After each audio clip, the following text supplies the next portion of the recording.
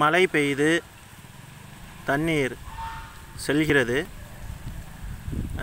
இந்த மழை நீர் இங்கு செல்லும் காட்சியை நீங்கள் பார்த்து கொண்டிருக்கிறீர்கள்.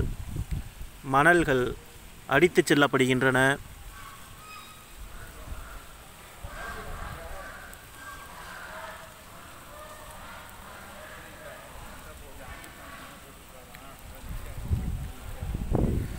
மலைகளில் பெய்யும் நீரில் மலைகளிலிருந்து பாறைகளிலிருந்து சிறு சிறு துகள்கள் அடித்தும் அடித்து வரப்படும்.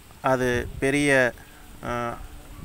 மழை நீர் அனைத்தும் தொகுப்பாக ஆறாக சிற்றோடையாக உருவெடுத்து அது பெரிய ஆறாக மாறும். வண்டல் மண் அதில்தான் அடித்து வரப்படுகிறது. இந்த வண்டல் மண் படியும் அனைத்து பகுதிகளும் டெல்டா மாவட்டங்கள் என்று அழைக்கப்படுகிறது. டெல்டா என்று அழைக்கப்படுகிறது.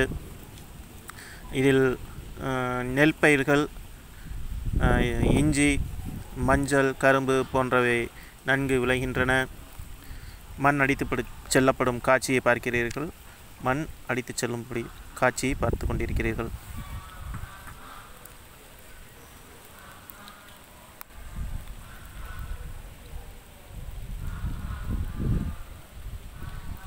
மேலாக படியும் மண் குறுமண் அதற்கு பிறகு இருக்கும் மண் சரளை கலந்து கொஞ்சம் பெரிய மண்ணாக இருக்கும்.